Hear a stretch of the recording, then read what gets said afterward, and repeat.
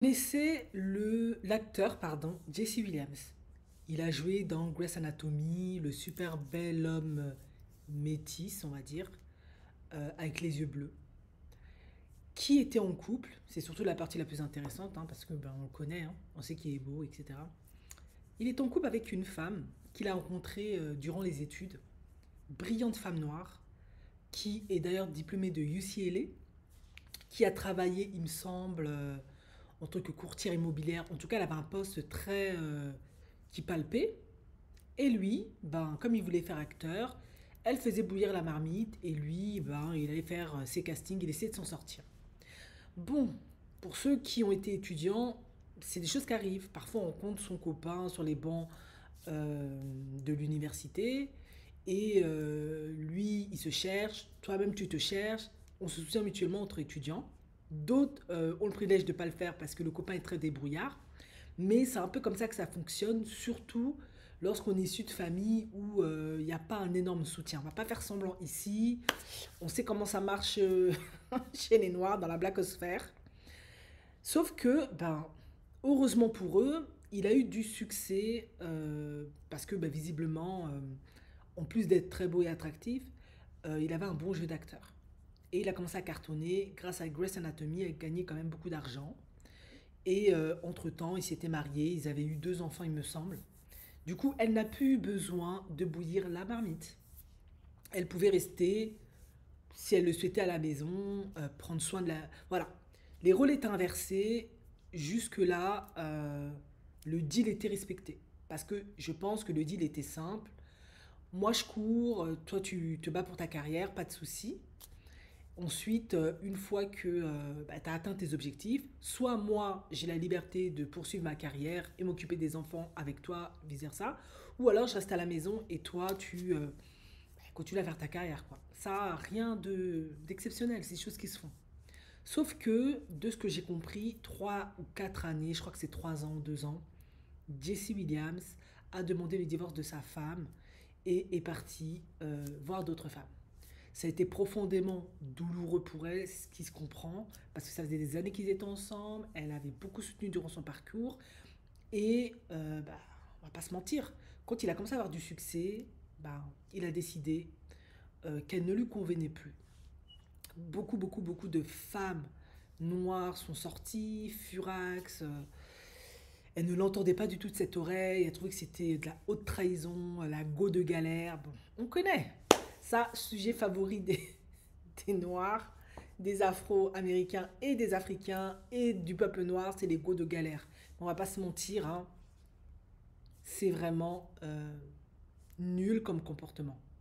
Cependant, est-ce que on ne pourrait pas analyser les choses sous un autre angle? En effet, maintenant qu'ils sont divorcés, ça fait des années, Jesse euh, William est sorti avec tout un tas de femmes, euh, Whitey comme Blackie, qui clairement, on va pas faire semblant ici, je vais vous montrer quelques photos, n'ont vraiment rien à voir avec sa femme de base. Du coup, ben, je peux comprendre que euh, blessée, en colère, elle lui, elle, elle lui en veut. Du coup, qu'est-ce qu'elle fait maintenant? Elle lui refuse les droits de visite, elle torpille euh, son rôle de père, la garde parentale et tout le tralala. Ce qui, lui, bien évidemment, ça l'embête parce que ce n'est pas parce qu'un homme te quitte en tant que femme qu'il a quitté ses enfants. Non. On sait que beaucoup de noirs font ça, d'hommes noirs, mais c'est pas tous les hommes noirs. Lui, il n'a pas vu les choses comme ça. Il s'est dit, bon, toi, ok, c'est fini. Mais euh, moi, mes enfants, je les aime. J'ai envie d'être un père pour eux, d'être présent, de leur donner mes valeurs, mon éducation, ma vision. Du coup, j'ai envie de passer du temps avec eux, etc. Et elle torpille ça au point où maintenant il est au tribunal pour la confronter devant le juge, pour demander, mais c'est comment? Ok, c'est fini entre nous, ça t'a fait mal parce que je t'ai quitté, alors que tu pensais qu'on allait rester ensemble jusqu'à ce que la mort nous sépare, euh, être sur les wet carpets, tout le tralala, ben voilà, euh, j'ai estimé que non, mais je peux quand même voir mes enfants. Elle refuse, mordicus, elle dit non, toi là, tu toucheras pas à ces enfants, c'est mort. Le jour où tu as divorcé, tu as décidé que. Le jour où tu as décidé de gâter cette famille, tu as décidé que c'était fini. Tu as, perdu les droits sur ces enfants. Bon, vous avez compris euh, le gros de l'histoire. Hein. Après, ça se trouve, vous étiez déjà peut-être au courant. Moi, je vais donner mon avis. Alors, je, comprend 100% son ressentiment, sa colère, sa douleur, euh, ce sentiment de trahison, cette blessure qu'elle porte en elle. Honnêtement, euh, ceux qui n'ont jamais été trahis par quelqu'un ou par un homme surtout, peuvent pas comprendre. C'est, c'est, juste envie de, de, de l'envoyer chez ses ancêtres. À pas se mentir, tellement t'as la rage, tu t'en veux, tu te dis, mais est-ce que j'aurais dû le soutenir? Pourquoi je l'ai fait? J'aurais dû le laisser dans sa merde. Es la bonne, tu te sens comme la bonne poire. Extrêmement difficile de voir les choses sous un bon angle. Cependant, on est quand même là pour essayer de voir les choses sur plusieurs angles. Est-ce que, compte tenu des femmes qu'il a datées, il aurait été possible, en fait, pour euh, son ex-femme de euh, level aussi Je m'explique. Jesse Williams a été connu grâce à Grâce Anatomy et on sait tous que aux États-Unis, c'est même pas qu'aux États-Unis, c'est partout dans le monde en fait, hein, même en Afrique. Hein. Euh, oui, je dis ça parce que les gens pensent que comme l'Afrique euh, a du mal encore à se développer, on ne peut pas apprécier tout ce qui est les événements de divertissement. Ben si, quand tu es avec un homme qui est dans le divertissement, acteur qui plus est à Hollywood, dans une série qui est très en vue, tu vas être amené à euh, être sur des wet carpets, être constamment dans des événements, être dans des magazines, tout le tintouin. Je ne rentre même pas dans les détails parce qu'on les voit constamment euh, dans les magazines, sur les réseaux sociaux, à la télé. Du coup, tu dois intégrer, que tu le veuilles ou non, quelque chose de élémentaire. Tu vas devoir level avec cet homme. Sinon, à un moment donné, et on l'a vu à maintes reprises, vous allez trop en décalage et ben, comme elle, vous allez vous séparer en fait. Et je suis désolée, même si j'ai pleinement de l'empathie pour elle, je comprends tout à fait le sentiment de trahison, je comprends tout à fait ce qu'elle a vécu. Moi, je serais une hypocrite si je prétendais que je ne lui ferais pas la misère. Mais il faut aussi voir les choses avec une certaine objectivité. Quand on regarde cette femme-là euh, avant et après le succès de Jessie Williams, elle est restée la même qu'à l'université. Euh, elle n'a pas évolué euh, dans son branding, dans, son, dans, la promotion d'elle-même, de l'image qu'elle avait d'elle-même. C'est une femme qui était déjà brillante, qui était intelligente. Elle n'avait absolument pas besoin de créer plus de plus-value. Elle n'a pas besoin, elle a déjà fait, elle a déjà prouvé. Euh, elle est partie, elle a écrit un gros diplôme, elle a travaillé dans des grosses boîtes, elle sait gagner de l'argent. C'est le genre de femme, en tout cas, moi, c'est ce que je me dis. Il n'aurait pas été difficile pour elle de, je sais pas, créer une galerie ou une fondation, ou je sais pas ce qu'elles font, les femmes des riches, la plupart du temps, de le faire. Elle a l'intelligence, l'éducation. Elle aurait été capable de créer ces contacts, ces réseaux-là. Cependant, quand on regarde son image, non, elle est restée la fille de l'Uni. Euh, oui, quand on a à l'Uni, on est comme ça. On est, bon, je sais qu'il y en a, ils vont habiller comme des mannequins, mais on fait pas trop d'efforts parce que euh, le plus important, c'est étudier. Si tu travailles à côté, c'est de faire ton petit job, gérer ton petit budget, aller en cours, être concentré pour décrocher tes diplômes, tes examens, etc. Et elle a gardé toujours ce style-là de fille simple, accessible, le style qui avait plu à Jessie Williams, lorsqu'il était jeune et qu'il était en galère. En effet, euh, on va pas se mentir, euh, quand lui il était en galère, il se cherchait, il tombe amoureux de cette femme parce qu'elle a d'excellentes qualités, c'est quelqu'un de très soutenant, de très généreuse, qui sait euh, vraiment euh, s'investir pour que les choses fonctionnent. Cependant, comme beaucoup de femmes, et j'en parle souvent sur ma chaîne, elle a un défaut, c'est qu'elle est convaincue que comme elle est, c'est suffisant. Et malheureusement, euh, ben non. Quand on est dans le milieu du divertissement, d'Hollywood, des médias, c'est pas là pour les youtubeurs. Hein. On va pas se mentir. Hein. En tout cas, quand tu veux exploser, tu dois faire plus d'efforts au niveau de ton image. Et elle, elle ne l'a pas fait. Et à un moment donné, on va arrêter d'être hypocrite deux secondes. Jesse Williams, lui, côtoie des Beyoncé, des Rihanna, pour ne citer que celle-là, des Ciara, des Taylor Swift, tout un tas de mannequins. Je reste que dans la communauté noire. Noir, euh, métissé, bon, Blasiane, euh, afro-descendantes d'Indiens, euh, dark skin, brown skin, Lupita Nyong'o, euh, les Jodie Foster, enfin, Jodie Foster, c'est assez White. bon, vous voyez ce que je veux dire, quoi. Tu as tout ce type de femmes-là, et plus celles que on connaît même pas ici. Magnifique. D'ailleurs, vous avez vu des quelques photos que j'ai mis là. Donc, à un moment donné, je suis désolée. Euh, tu ne peux pas te dire, parce que j'ai fait tout ça pour cet homme, on a deux enfants, on a une famille, il me sera tellement redevable que il va pas me quitter. Ça, c'est être d'une naïveté déconcertante, en fait. Ça, c'est le côté geek de beaucoup de femmes et de beaucoup de femmes noires. Pense que non, c'est mon cerveau, mon intellect qui prime. Non. Là, dans le milieu du divertissement dans lequel ton mari il est, c'est pas l'intelligence, euh, on va dire intellectuelle qui prime au premier abord. C'est l'intelligence émotionnelle, l'intelligence euh, artistique. Voilà, différents types d'intelligence, l'intelligence des contextes. Voilà, l'intelligence de pouvoir se mettre dans des situations euh, constamment changeantes, s'adapter à toutes les situations. Voilà, c'est d'autres intelligences qui rentrent en compte. Et par conséquent, une des intelligences, c'est l'intelligence de pouvoir s'adapter à son environnement, à savoir quand tu vas à Hollywood, où ton mari maintenant, c'est l'acteur en vue, ben tu vas chez la meilleure maquilleuse, même si tu n'aimes pas le maquillage, afro-américaine, si tu es euh, black own là, pour qu'elle fasse un maquillage très naturel et simple, si tu aimes être simple. Tu euh, prends ton meilleur coach de fitness, même si tu as le sport, tu fais un effort tu portes les meilleures robes, les meilleures coupes. Si tu es black owned, afro, mais ce que tu veux, tu changes en fait, tu level Et ne pas le faire, en fait, c'est lui mettre un bâton dans le pied parce que, comme je l'ai dit, psychologiquement, un homme n'est pas évalué au même titre qu'une femme. Un homme, une femme, elle, euh, comment elle, elle va euh, se marketer auprès d'un homme qui a du succès, ça va être par sa beauté et les plus-values qui vont venir se rajouter quand elle vient d'un milieu modeste, quand elle vient d'un milieu très riche, qu'elle a plein de réseaux, elle n'a pas besoin d'être spécialement jolie.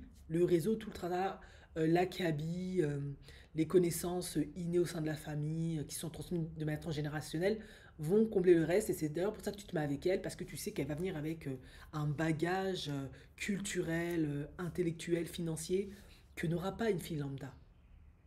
Mais un homme, c'est différent. Lui, ok, il peut être beau, comment, comment, bah lui, ça va être l'argent déjà, etc. Et vous avez compris, la femme qui sera à ses côtés. Ce qui explique pourquoi certains hommes, parfois, ils épousent des mannequins et après, ils divorcent quelques temps plus tard. Ça marche pas parce qu'en fait, ils ne les épousent pas toujours parce qu'ils les aiment, c'est purement narcissique. C'est qu'est-ce qu'elle va euh, dégager, euh, qui va faire que eux vont rayonner et obtenir euh, des accords, des marchés, susciter la convoitise, l'envie, l'intérêt, etc. Dans ces milieux-là, c'est comme ça que ça marche. Voilà. Après, certains, ça marche, ils restent jusqu'à la fin de leur vie, mais beaucoup, euh, après, ça même plus, parlent même plus au terre parce qu'ils ne sont pas forcément là pour les bonnes raisons. Et elle, malheureusement, aussi brillante qu'elle est à l'école, aussi brillante, les bonnes notes qu'elle arrive à décrocher, tout ça dans les affaires et tout, elle n'a pas compris ça. Elle était convaincue que le fait d'avoir fait des années avec cet homme-là, le fait de lui avoir donné deux enfants, de l'avoir soutenu, il restera redevable à vie. Sauf que, ben, faut pas être naïf. Lui, il est dans un environnement extrêmement euh, stressant, extrêmement complexe. Il doit décrocher des rôles s'il veut se maintenir. Donc, il ne peut pas se balader avec n'importe quelle femme quelconque qui euh, ne fait aucun effort. Les autres qui donnent du travail, qui font des productions, etc., ce sont des gens, certes, qui sont dans les affaires, qui réfléchissent à bien des égards sur plein d'aspects, mais ça reste quand même un monde qui est là pour vendre du marketing. Si Jesse Williams ne donne pas envie euh, ben, d'être avec lui, parce qu'il est avec une femme qui est banale, c'est pas bon pour lui. Donc euh, avant même qu'il ait commencé à avoir du succès, il sera déjà grillé en fait. Surtout qu'il est en concurrence avec euh, de gros acteurs euh, Darskin en vue. On est aux États-Unis, les acteurs très noirs Darskin sont très prisés, contrairement dans le milieu des femmes où c'est plutôt les on va dire, entre guillemets.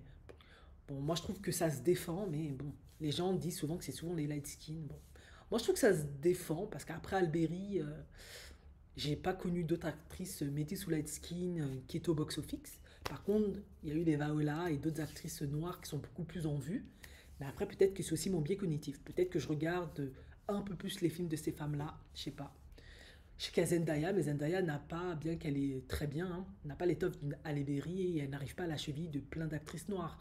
Donc, bon, ça se discute en fait. hein. J'ai plus l'impression, en tout cas, je peux me tromper naïvement, hein, qu'on essaye un peu plus de mettre des acteurs un peu plus brown skin, dark skin en avant. Mais bon, peut-être que je peux me tromper, je sais pas tout. Du coup, bah, elle-même, elle a creusé pour moi euh, sa propre tombe. Parce que c'est demander la loyauté, euh, une loyauté dans un environnement où euh, il a justement pas intérêt à le faire en fait. Les acteurs, c'est pas pour rien qu'ils s'épousent, ils se marient entre eux. Vous avez vu par exemple le couple Blake Lively, Ryan Reynolds. Ben, vous voyez comment ça match super bien. Enfin, ça donne un effet waouh. Euh, Angelina, Brad Pitt, euh, Obama, Michelle, pour citer que ceux-là. Voilà. Tous ces acteurs-là, quand ils ont épousé leur femme, c'était d'une certaine manière. Quand Denzel Washington il a épousé sa femme euh, Pauletta, c'était une actrice. D'ailleurs, je crois qu'il avait fait un rôle avec elle. Très belle femme noire. Euh, et euh, en même temps, voilà, maintenant c'est une maman, elle a un certain âge. Mais c'était une très belle femme noire. Et si vous regardez tous, la plupart de leurs femmes, même les anciens rappeurs avant qui, qui avec des whitey ou des femmes plus claires, etc., leurs femmes étaient toutes très belles. Des mannequins, des anciennes actrices, etc., des chanteuses, etc., etc. Donc, à un moment donné, je suis désolée, euh, l'amour ne suffit pas toujours. Et la preuve que c'était ça le problème chez elle, parce que euh, toutes les autres femmes qu'il a eues avant, elles avaient rien à voir physiquement avec sa femme. Mais c'est le milieu qui fait ça. Et ça donnait un effet super waouh. Et d'ailleurs, il a été super malin et stratégique dans sa manière de procéder parce que il s'est dit ouais, je sais, les gens vont vous dire, ils vont dire j'ai laissé la femme noire pour aller prendre une femme whitey ou métisse. Eh ben non. Si on voit la plupart de ses ex, il y a eu des femmes brown skin, plus foncées que sa femme. Il y a eu des femmes blanches, des femmes. Je, je suis même pas sûre qu'il y ait eu des femmes euh, métisses. Hein. Je suis pas certaine. Je vais chercher, peut-être que je vais en trouver, mais c'est pas celle, en tout cas, avec qui c'est le plus affiché. C'est surtout affiché avec une femme euh, beaucoup plus foncée que lui d'ailleurs, mais c'est une très très très belle femme. C'est certainement une mannequin, un truc comme ça. Bon bref, voilà. Donc je suis désolée, vous avez compris pourquoi en fait il ne pouvait pas et voulait pas, on va pas aussi faire semblant, hein, il doit prendre sa responsabilité, rester avec cet homme. Il s'est dit ouais mais moi je vais pas me maintenir à Hollywood avec la mère de mes enfants. Euh, Idriss Elba a fait la même chose. Il a eu euh, des enfants avec une femme, une autre qui était exactement du même profil qu'elle plus ou moins. À peine accouché, il avait déjà quitté pour épouser sa mannequin. Parce que c'est le monde du divertissement, de l'entertainment, de l'image. À part citer Goldberg, oui, je suis désolée, Whoopi Goldberg, pour moi, c'est pas euh, une beauté euh, chez la femme noire. C'est mon avis, ça n'engage que moi. Il y a dix fois plus belle qu'elle. Euh, mais Whoopi Goldberg, pourquoi elle a pu gérer plein de whitey, plein de gars? Parce que elle a un talent incommensurable. Sa femme n'était pas dans ce cas de figure, c'était The Girl Next Door, qui était brillante à l'école. Et malheureusement, elle n'a pas compris que bah, si tu veux garder cet homme, ou tu veux du moins pouvoir marcher avec cet homme dans le milieu où il est, tu dois level. Elle a refusé de level elle ne voulait pas level ou elle n'a pas compris qu'elle devait level. Et il est probable, attention, que lui lui a dit Écoute, chérie, bébé, ce serait bien que tu mettes cette robe de tel couturier, de tel designer. Ce serait bien que tu ailles chez euh, Anita, la styliste des stars, ou euh, la coiffeuse machin, la maquilleuse. Et elle, elle disait Ben non, si tu m'aimes, tu dois m'accepter comme euh, je suis. Ben non, moi je vois pas pourquoi je devrais changer pour ton milieu superficiel. Ben non, ben non. Ça, c'est style des femmes noires. De toujours faire non, non, opposition tout le temps, tout le temps. Et à la fin, ben, le gars, il te remplace. Parce qu'à un moment donné, c'est plus une affaire que d'amour. C'est une affaire de se maintenir, de ton image, etc. Il a choisi le milieu de l'image, du divertissement. Ben, ça, malheureusement, ça ne loupe pas. Ça, c'est mon avis. En tout cas, voilà. Maintenant, elle le pourrit parce que, ben, elle s'est fait euh, ghost, en fait. Je comprends ses sentiments, il n'y a pas de souci. Elle est blessée, elle est en colère. Mais elle doit aussi prendre sa part de responsabilité. Elle n'a pas su se mettre au niveau de son mari. Et cette tendance qu'ont beaucoup de femmes noires à prétendre que c'est pas nécessaire, bah, c'est une erreur. À la fin, l'homme, hein, même si tu as des enfants avec lui, même si tu aimes comment, comment, tu as commencé euh, tout en bas avec lui, là, vous avez fait les études ensemble, bah, il va te remplacer.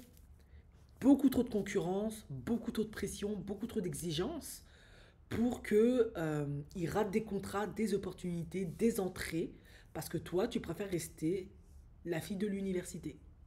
Tu n'as pas compris que maintenant, tu es la femme d'une superstar. Tu dois faire plus d'efforts. Et si tu n'es pas prêt à faire ça, bah, il vaut mieux trouver un homme qui sera prêt à t'accepter comme t'es. C'est ok aussi, il n'y a pas de souci. Mais du coup, ce sera plus Jesse Williams parce qu'il a changé, il a évolué. Ce n'est plus l'étudiant que tu as rencontré. Et d'ailleurs, à un moment donné, il ne faut pas être naïve. Si vous voulez être dans les feux des projecteurs, dans les paillettes, c'est parce que il n'aspirait pas à rester l'étudiant de Jesse Williams euh, qui se cherche. hein. Non, non, non. Ou qui est le comptable ou le financier euh, derrière le bureau. Non. Lui, il cherchait les paillettes. Donc, elle aussi, euh, elle aurait un peu se douter que. euh, voilà. Le mariage n'est pas une garantie, les enfants non plus. Maintenant, vous l'avez vu. Et aujourd'hui, bah, pour le punir, elle refuse qu'il voit ses enfants.